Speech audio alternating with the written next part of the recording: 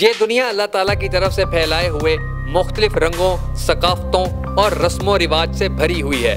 ہر جگہ، ہر علاقے کے لوگوں کے مختلف رسم و رواج ہیں جو صدیوں سے چلے آ رہے ہیں۔ آج ہم آپ کو افریقہ، گھانا کے لوگوں کی ایک دلچسپ رسم بتائیں گے جو وقت کے ساتھ ساتھ زیادہ مضبوط ہوتی جا رہی ہے۔ اپنے پیاروں کے بچھڑنے کی تکلیف اور دکھ مختلف لوگ مختلف طریقوں سے مناتے ہیں۔ اور اسی طرح افریقہ کے اکثر و بیشتر ممالک میں جنازوں کو ایک خاص اہمیت دی جاتی ہے اور گھانا میں جنازوں پر زیادہ رونے اور غم زدہ ہونے سے مرنے والوں کی اہمیت میں اضافہ ہوتا ہے۔ اور اسی لیے گھانا میں اگر کسی کی موت واقع ہو جائے تو اس کے جنازے پر پیشہ ور رونے والوں کو ضرور مدعو کیا جاتا ہے، جو پیسے لے کر رونے کا کام سر انجام دیتے ہیں۔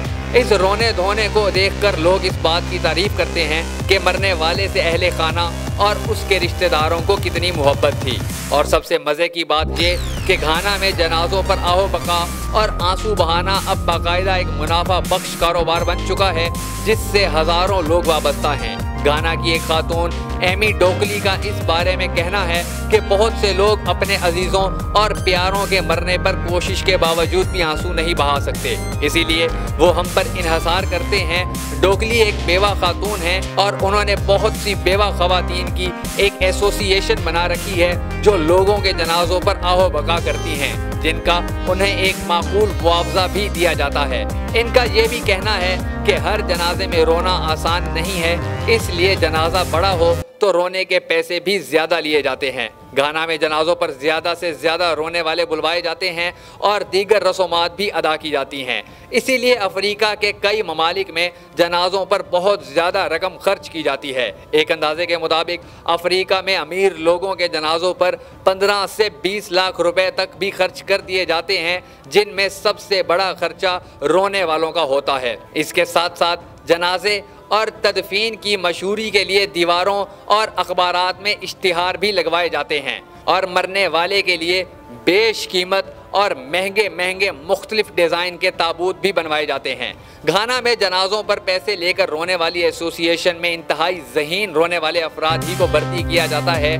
جو ایسے ٹسوے بہاتے ہیں کہ غم زدہ خاندان بے اختیار ان پر پیسے نچھاور کرنے پر مجبور ہو جاتا ہے۔ اور تو اور، گھانا میں بہت سے امیر اور صحت مند لوگ اپنی وصیت میں اس بات کو بھی لازمی قرار دیتے ہیں کہ ان کے مرنے پر رونے والوں کا سب سے بڑا اور پروفیشنل گروپ بلایا جائے، جو ان کے مرنے پر رو رو کر آسمان سر پر اٹھا لیں۔ سب سے دلچسپ بات یہ ہے کہ رونے والی اس ایسوسییشن کی فیس اور رونے کے انداز بھی مختلف ہیں۔ مثلا، بوڑھوں کے جنازوں پر کم پیسوں کے عوض، یہ ایسوسییشن صرف آنسو بہاتی اور سسکیاں بھرتی ہے، جبکہ نوجوانوں کے جنازوں پر زیادہ فیس لینے کے ساتھ ساتھ یہ پیشہ ور رونے والے نہ صرف سسکیاں بھرتے اور آنسو بہاتے ہیں، بلکہ اس کے ساتھ ساتھ دھاڑے مار مار کے روتے چیختے چلاتے اور سر اور منہ پر پیٹتے بھی ہیں۔ اور اگر اس ایسوسییشن کو ان کی مرضی کے مطابق فیس ادا کی جائے، تو یہ لوگ